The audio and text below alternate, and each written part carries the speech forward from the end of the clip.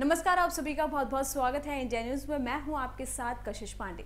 पंडित चोपड़ा और राघव चड्ढा की शादी से पहले प्री वेडिंग फ़ंक्शन जो है वो शुरू हो गए हैं। अरदास कीर्तन और सूफी नाइट के बाद अब कपल की शादी की दूसरी रस्में की, की जा रही हैं। इसी बीच राघव के डिज़ाइनर पवन सचदेवा, जो कि उनके मामा भी हैं, उन्होंने उनकी शादी के अटायर के बारे में बात की है। आपको बता दें कि राघव की एंगेजमेंट ड्रेस भी पवन सचदेवा ने ही डिज़ाइन की थी। वहीं मीडिया से बातचीत करते हुए पवन सचदेवा ने कहा, हमारे लिए उनके आउटफिट डिज़ाइन करने का ये एक फुल ऑफ़ वीक रहा। राघव के पास फिटिंग के लिए वक्त नहीं है, क्योंकि वह राजनीतिक कामों में बिज़ी हैं। किसी तरह से हमने सब कुछ किया मैंने सभी इवेंट्स के लिए उनका कैजुअल आउटफिट से लेकर फॉर्मल लुक तक सब कुछ डिज़ाइन किया है। वहीं मशहूर डिज़ाइनर आगे कहते हैं, वह मेरा भतीजा है, मेरी सगी बहन का बेटा है। वह नौ साल की उम्र से ही मेरे डिज़ाइन किए गए हुए आउटफिट्स पहन रहा है।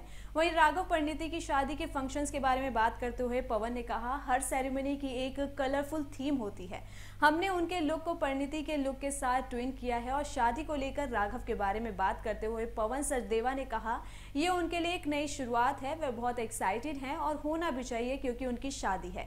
वह एक पावर कपल हैं, वह साथ में अच्छे लगते हैं। यह एक पावर पैक शादी होने वाली है और वह हर तरह से एक दूसरे को कंप्लीट करते हैं।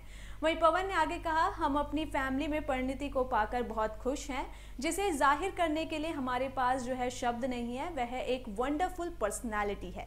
तो जैसे कि मामा ने भी अपनी बहू की तारीफ़ कर दी है। जी हाँ आप देखना होगा कि कल ये क्या कौन से ड्रेस कर पहनते हैं? क्योंकि मामा ने ही अपने भतीजे की जो है ड्रेस आउटफिट जो है सारे उन्होंने ही डिज़ाइन करी है। एंगेजमेंट में भी उन्होंने करी थी, अब शादी में भी उन्होंने करी है। अब फाइनल जो लुक आएगा, वो तो हमें कल ही पता चलेगा।